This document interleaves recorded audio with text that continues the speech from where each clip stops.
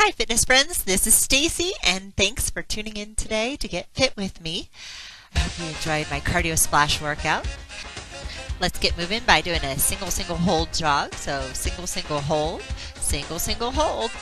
Now your jog can be in place or it can move forward and back or you can move side to side.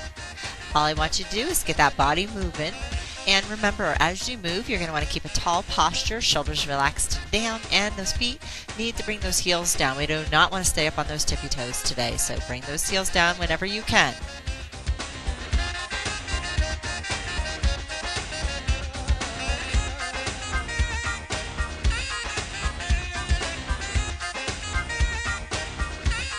Let's change it up a little bit and add a single single kick here instead of a single single hold. Single single kick. One, two, kick, one, two, kick. You can even add some arm movements, a little punch or a little palm strike forward.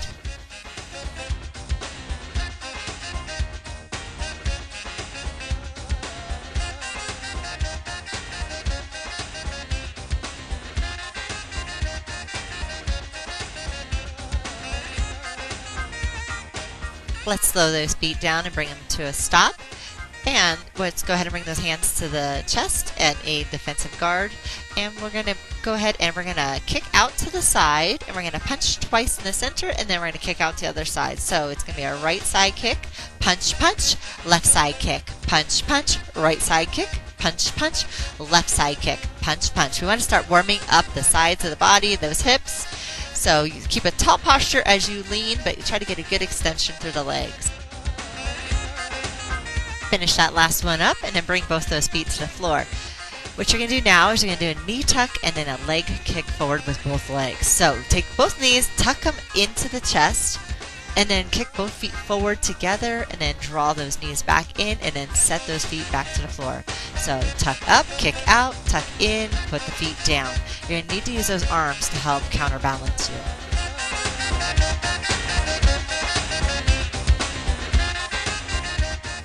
Finish up maybe one or two more and then go ahead and plant those feet, but let's plant those feet wide.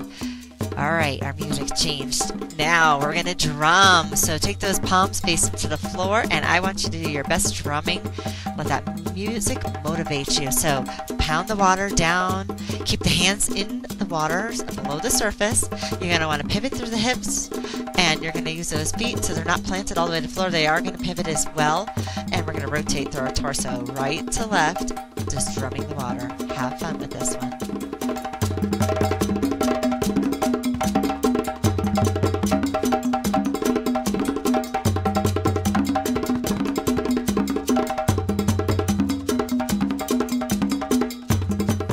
Almost there. A few more. Hang in there. Awesome job. I'm sure that brought up your heart rate a bit.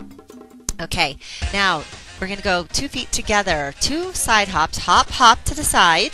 And then you're going to tuck those knees, kick the feet forward, tuck the knees back in, and then set them down, and then two hops to the other direction. So the knee tuck with the kick we did before, but you're just going to add two sideways jumps. So jump, jump to the side, tuck, kick, in and down. Just one more time.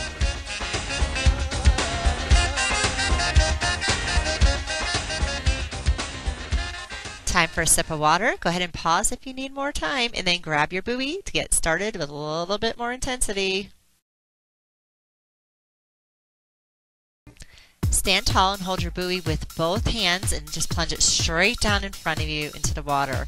Shoulders relaxed. Now while you're holding onto that buoy, you just keep it extended down towards the floor and I just want you to jack your legs open and close. So jack open and closed, open and closed. Again, reminder to keep the heels down. No tiptoes today. Um, and if you have water shoes, it's a recommendation to wear your water shoes today because it's going to help protect your feet. So just opening and closing those legs.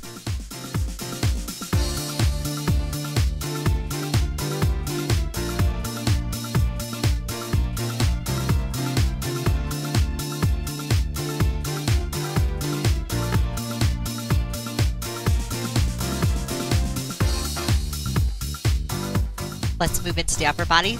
So you can either keep the feet wide or you can stagger them. you're going to take the arms out to a T shape, put the buoy in one hand, and then you're going to bring the buoy to the front of the body as the arms close together, almost like in a hugging motion.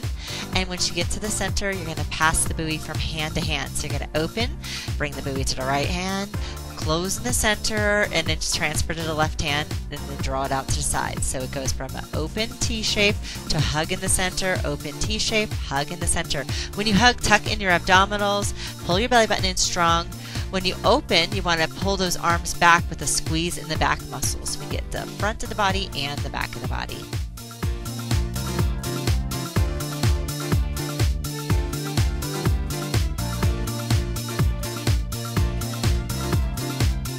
Maybe one more, and then take the buoy with both hands and bring it in front of you. You're going to want to just plunge it into the water and keep your shoulders relaxed so your arms are extended in front of you. Now you're kind of tilted forward in a plank position, and you're going to bring one foot up behind you, then the other, but these are long leg extensions behind you. So you're going to squeeze your glutes, and you're going to just bring up long left leg, tap down, long right leg, and you can be bounding from foot to foot for more intensity here. So you can either run one leg at a time, but if you bound from foot to foot, a little more splash is involved. Try to keep that tall spine and do not arch your back so the foot only comes up to where it feels right to your back. Don't overdo it. One more, and then bring the buoy into your left hand. Stand with your feet nice and wide. So you're going to draw the elbow back to the side, and you're going to bring the buoy across your midsection down, and you're going to punch into the water. So two cross body punches. Punch down, one, two, bring it back, extending through the arm, and then when you draw back, tuck that elbow back. So one, two, pull back, one, two. You're pivoting through the body. So rotate good. Make sure the feet don't stay glued to the floor, and just use some real good strong intensity. You want to push to the floor, and then when you pull back, it comes up to the surface. And for this one, you may get splashed.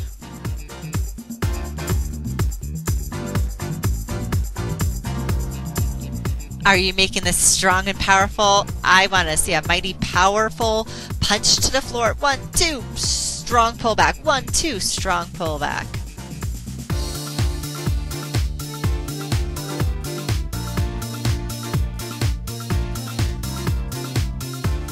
Another option I'm showing you here is on the pullback, instead of just driving the elbow, you can open the arm up wider and pull back stronger. So you're still pulling back, but a longer arm for a longer lever length. Okay, last one. Let's go ahead and switch sides. Bring it to the other hand. Remember, you're going across the body. You're going downward as you go across, and there's two double punches at the bottom. Keep on pivoting through those hips, pivoting through the feet. Good rotation, good tall posture. Yep. And again, like I said before, we call this cardio splash for a reason. So I want to see intensity. You want to see that splash happening, right?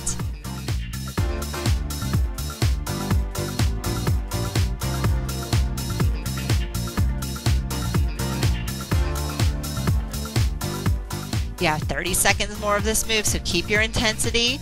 If you need to bring it down a notch, that's always fine, but if you can keep that intensity for just a little bit longer, keep breathing through the move. Yep, strong and powerful. Let's burn those calories.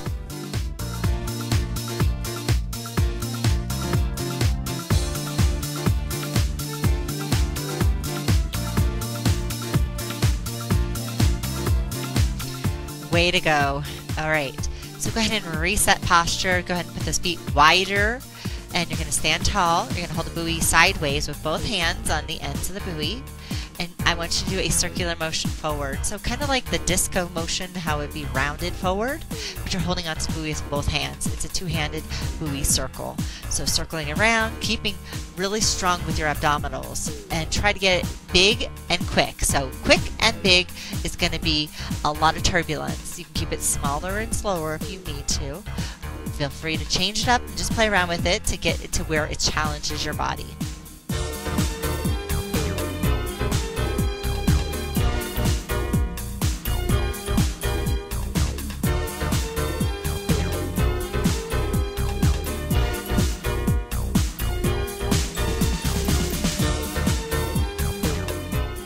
Seconds.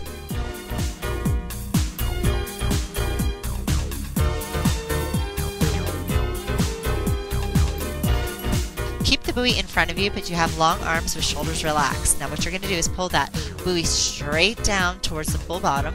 And as you do, you're going to lift the right knee and then you're going to lift the left knee. So you can have the option of knee lifts with this, so wide knees, or if you want more intensity, we're going to do a Frankenstein legs with the buoy plunge. So the legs need to come out more in a V shape so we have space for the buoy to pull down center and those legs are going out in a little bit of an angle so we can get to those hip rotators as well. So we're getting into the glutes. Keep your really tall posture. You can bound from foot to foot for a little bit more speed or you can take it slow and controlled to stay really tall.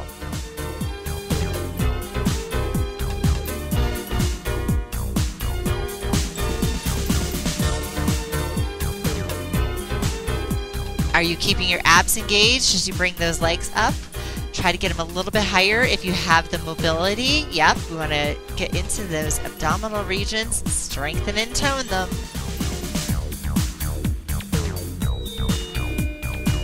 Last one on each side. And then you're going to hold that buoy in the front and we're going to change our legs to jack legs. So you're going to jack the legs, take both arms and press the hands forward tuck it into the body. Then on your next jack, you're going to take and push across the right side in a diagonal motion, tuck it in, center push with both hands, and then go across with the left arm. So it's a center with both, and then when you go across, you're only using one hand to go across the body. So it's a three dimensional upper body movement with the jack legs the entire time. So try to use one hand when you come across the body. That way we get more rotation. You don't have to use one hand, you can use both. But when you use one hand, you're going to get a bigger cross body, that roundhouse punch happening.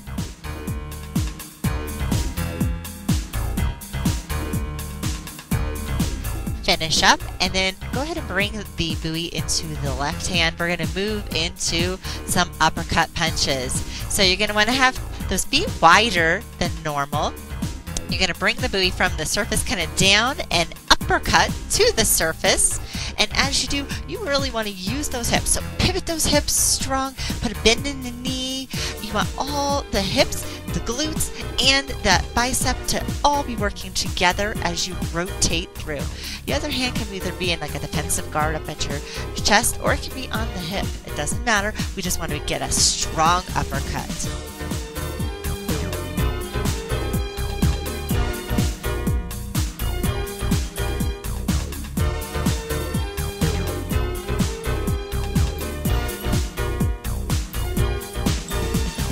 It's time to switch sides to the other hand. So you should be moving to the right arm now. Again, pivot through those hips. Use all your power in that bicep to big strong uppercut. Use your hips to push forward. Use the glutes. Use the whole body. It's a full body movement here. You should be feeling everything working. Make it strong.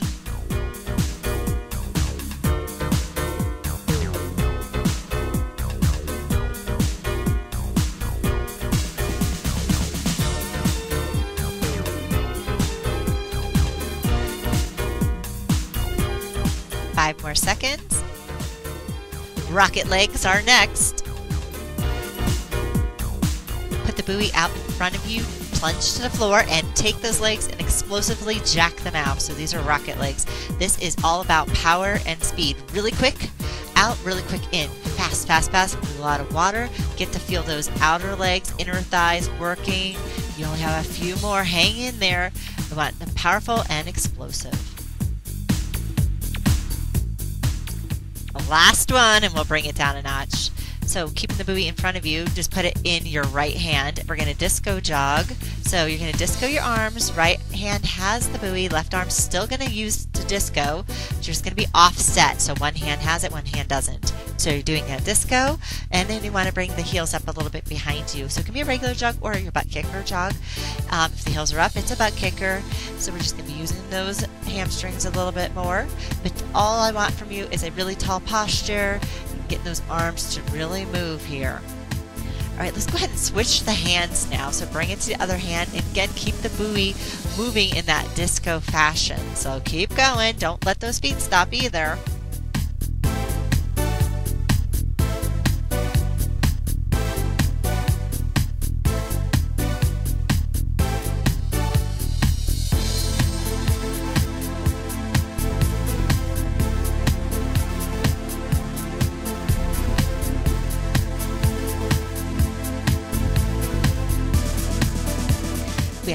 Seconds. Let's bring that buoy to the left hand and stand with your feet out wide to the sides. You're going to go into a left side pendulum hop with a push and a plunge. So that means you're going to pendulum the legs. You're going to hop to pop it out to the side on that left side. You're going to hop in with the pendulum and then push it down, plunging to the bottom. So out, in, down, up, out, in, down, up. Stay on that left side a little bit longer.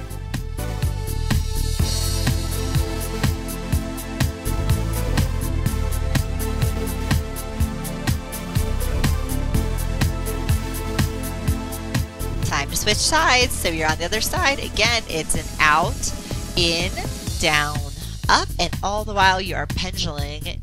And when you're doing the pendulum, it should be a little bit like a hoppy manner. So you should be bounding from foot to foot as you go. Splash, splash.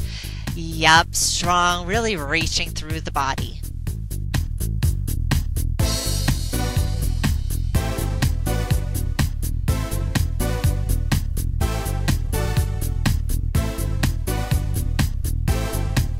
Last one. And then switch your hand here. So do you remember those double cross punches that we did before? Let's do those again. We're just going to change it up. So I want you to cross the body at the surface, punch twice, double punch, one, two, bring it in, and then double punch across body down. So cross, two, in, down, two, in, cross, two, in, down, two, in. So very similar to before, but we're going to go and try to use our rotation. Really big with the rotation. Switch sides. So other side, two across, and then two down, and start with your form first, and then as you get it, add that rotation, add the speed. We want the turbulence. I want to see that splash happen. Come on, guys, let's get wet.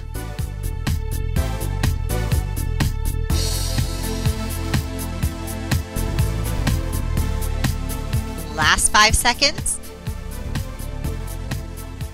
And let's go to our water break. So push pause if you need to to get a longer rest. Grab some water.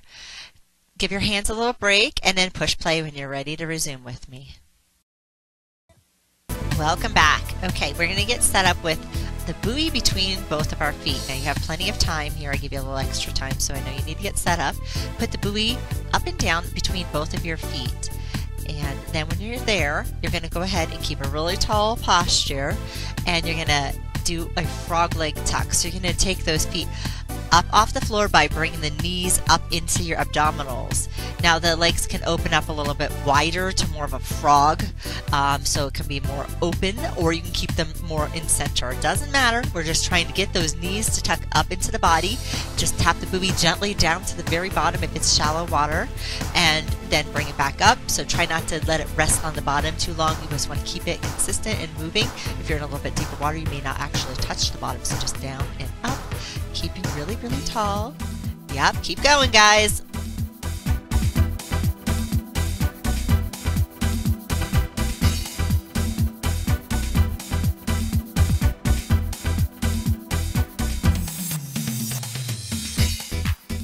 Seconds, we're going to move that buoy to another location.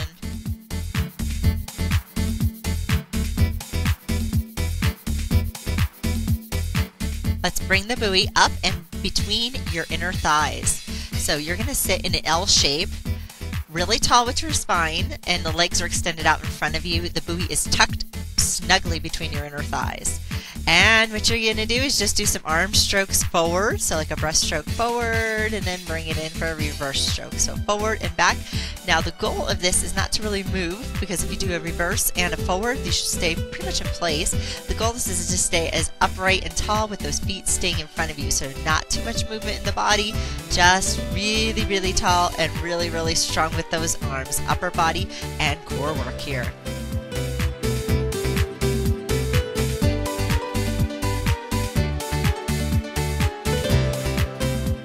Last one and then come to a tall standing posture with wide legs. We're going to move it into a pendulum legs here and we're going to have the buoy out in the right side. So start with the right extended arm and the left extended leg And what you're going to do is pendulum the legs and you're going to figure eight a wide arm figure eight in front of you with the right arm. So pendulum the legs back and forth and then figure eight in and open. So down and then back to an open. Now, if it's too much for the shoulders, keep it a smaller range of motion, or you can omit the shoulders if you need to. Um, but like I said before, the bigger the motion, the more strength you need, so you have to always engage the core with this one. Keep it going a little bit longer.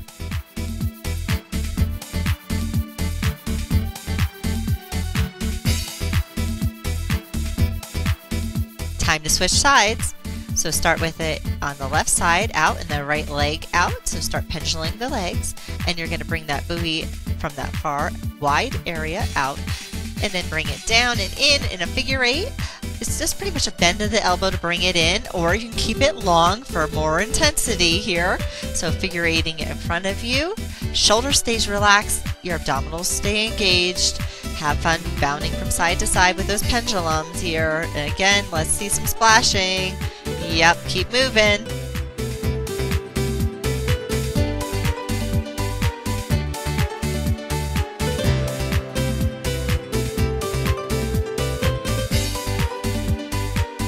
Last one.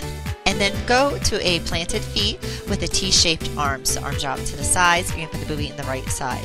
What you're going to do is lift that left knee and as you do, you're going to bring those arms down so the buoy and your empty hand are going to tap underneath the knee lift.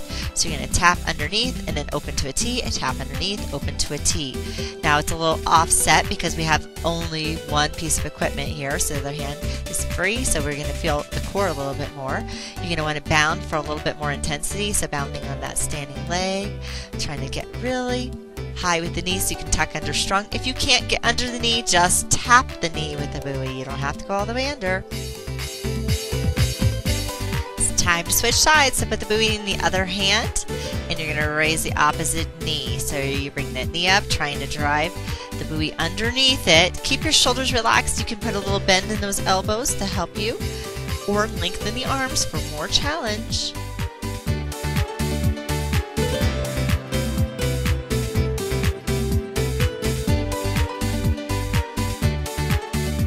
You have time for about one more, and then we're going to bring ourselves to a ski legs position.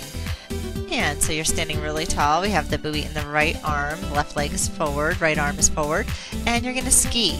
Now, remember opposites, and as you do, you're going to want to take that buoy and you're going to bring it across. So not only is that right arm going to come forward, but you're going to go across the left leg. So we want to add rotation. So we have offset buoy rotation skiing here. So strong, tall, add a little bit more rotation if it feels good to the upper body.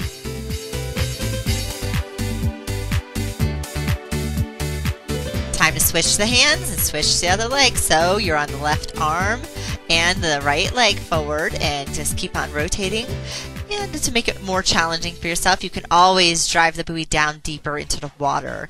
The more you have it out of the water, the less intensity. So if you drive it down more, more intensity.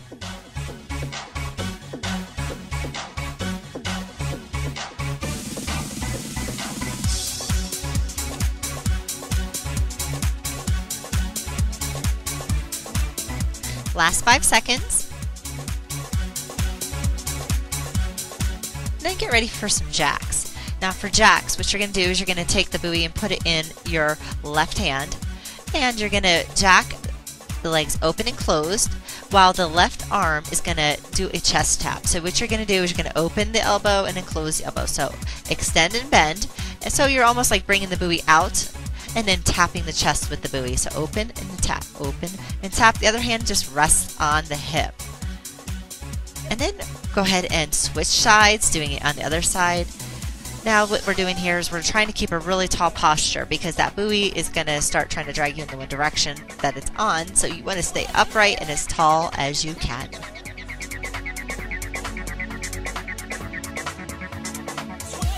Five more seconds then take the buoy with both hands together and you're going to bring it off to the left side. And you're going to stand really wide. And as you do, you're going to bring it in and you're going to do an inward knee sweep. So you're going to bring the buoy in and down as you drive the opposite leg up. So you're on the left side, so you're using the right leg. Drive the knee up. Try to tap the inside of the thigh. So it's an inward knee scoop. Scoop it down and in. Drive it up. Beautiful. Let's go ahead and go to the other side. So start on the other side of the body. Drive the knee up. And again, as you go, you want to make more intensity happen here. So stronger, more powerful, more pull, more splash, right? So a little bit bigger as you're pulling it down into the water.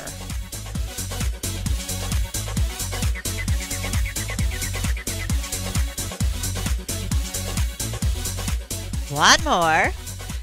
And then you're going to bring those feet together and you're going to put the buoy right in front of you with both hands. So go ahead and take both feet and jump forward, jump back, jump diagonally to the right, jump back to home spot, then forward, back diagonally to the left, then home spot. And then once you get those three dimensions, I want you to go ahead and add the buoy push in the same direction that you're hopping. So you're just taking those two feet, hop forward, in, directional change uh, to transverse. So off to the side a little bit, in the right and off to the side in the left. So it's transverse motion. So we're going to get that water really turbulent. Here I'm showing you a side view so you can see it a little bit better. So you're hopping forward, pushing the buoy with you, hopping back, pulling the buoy back with you as you hop back.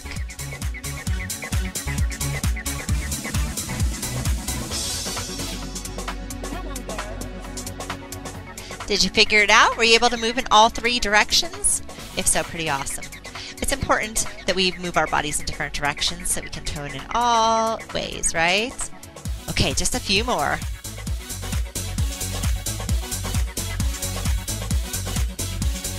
Moving to our next move, you're going to widen those feet. You can keep it planted, but you will be pivoting a bit. You're going to start at the right side. You're going to chop down to your left hip. After you get to the left hip, bring it up to the surface, chop down to your right hip, bring it up to the surface, chop to the left hip, up to the surface, down to the right hip. So you're going to keep doing that pattern, chopping down from the shoulder to the hip on each side, down, across. And you want to use some strength here. And as you get it, I want to see that intensity. Chop vigorously across the body. Let's get our rotation here. Let's use those obliques. Let's strengthen up our core. And this is going to probably get you splashed.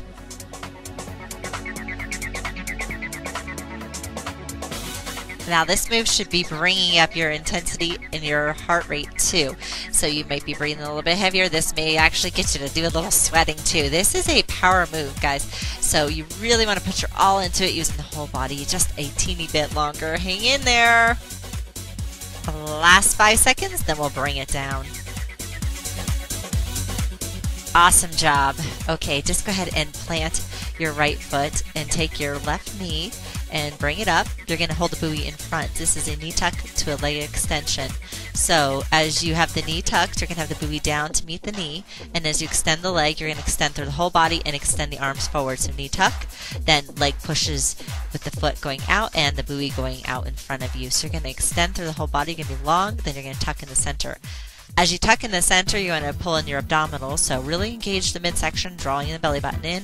As you extend, you still want to keep the core brace to protect your back, but you want to extend through the whole body. All right, it's time to switch sides. So you're just going to plant the foot and we're going to just swap to the other leg. So same exact thing, you're going to raise it up. And when you raise it up, try not to break the surface. Try to keep the tension underneath the water. Try to stay under the water. We want to make it be strong, powerful, and controlled.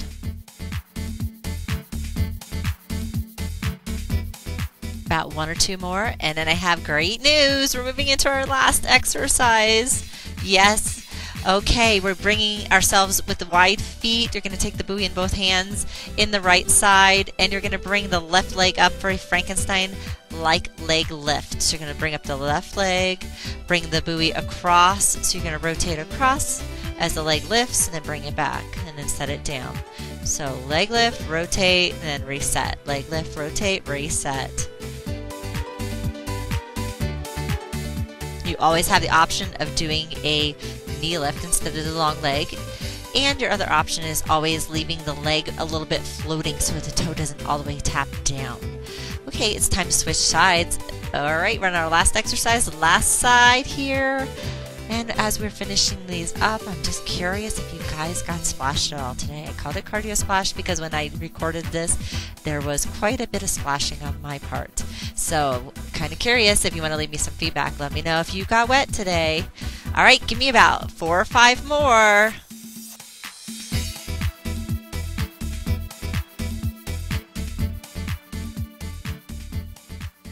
And you did it. Way to go, everybody. I'm so happy you joined me today. Now, you can go ahead and pause. I'm going to show you a few stretches here. You're welcome to pause and stretch along. That stretch should be about 10 to 30 seconds in each of those muscle groups.